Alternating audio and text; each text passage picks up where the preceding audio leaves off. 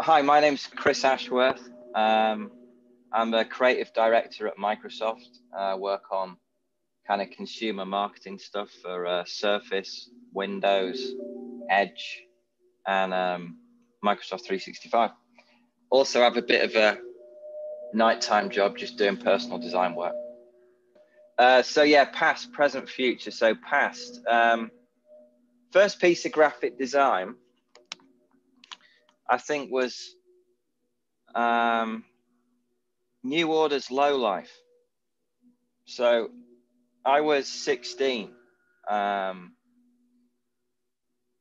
living in Liverpool, um, going to HMV, just started really, I got into music a bit late. One of my mates around the corner got me into it. He was a John Peel devotee, so he used to just feed me all the stuff he liked, and I, I just kind of grew up on, on that sort of filter, and um, yeah, got into New Order, and yeah, that's the one that stuck in my mind. I remember getting on the train at Formby, going to HMV in Liverpool, and coming home with that sleeve.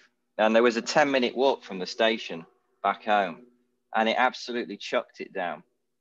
And uh, the tracing paper, if you're familiar with the sleeve, got totally ruined. It like I got home and it was all like it was all crinkled. So um, that kind of ruined the rest of my weekend. Um, but I was I was kind of drawn to the, the kind of like the the look of it, but also like the format. You know, it had the Trevor Key make your own kind of sleeve thing, interchangeable um, shots of the band. And um, it, it, was sort of that as well as the trace and the type and and then obviously the album, um, still probably my sort of second favorite album of theirs.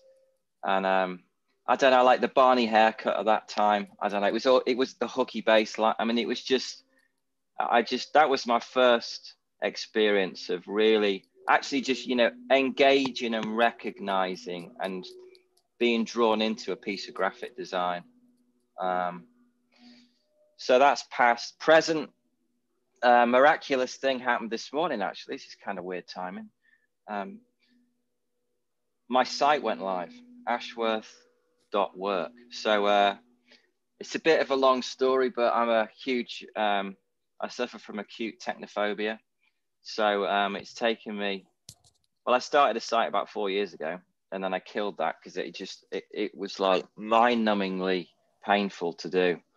Um, so I killed that. And then a couple of weeks ago, I was talking to a designer in my team and he's like, you know, you can get these off the shelf kind of things now that are pretty cool. They kind of moved on, they're kind of pretty nice. So I, I had a look at Squarespace and um, yeah, took me two weeks, two weeks from start to finish. And really, it's just, you know, a case of getting the content and um, sort of slugging it in. So, yeah, that went live this morning. That was a bit of a miracle.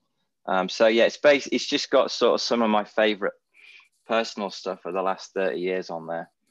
Um, and I'll keep, I'll keep adding to it.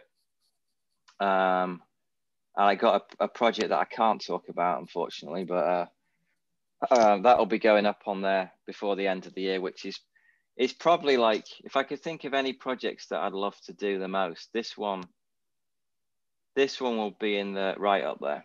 So it's a bit of a dream project. Um, so I'm looking forward to sharing that one. And then lastly, uh, a future. So a bit of advice. So I don't know, a bit of advice from a wise old 51 year old. Um, I guess like I meet these people at work and they have a, a career plan and I, you know, they want to go here and I'm like, I never had a plan. Don't have a plan. Plans are rubbish. Don't have a plan. Follow your gut. Follow your instinct. Uh, I don't want to say don't listen to what what other people think because that I, I don't think there's you know just follow your instincts, follow your gut, and um, don't overthink it. Right? a lot of my work, whether you love it or you hate it, um, it's it's just done on instinct. It's like, um, you know, sketchbooks. Get a bit of paper, get a scribble, just get something down. Um, more than anything, just do it. Just just try and do it. Just get on with it. Don't don't overthink it. would be my advice.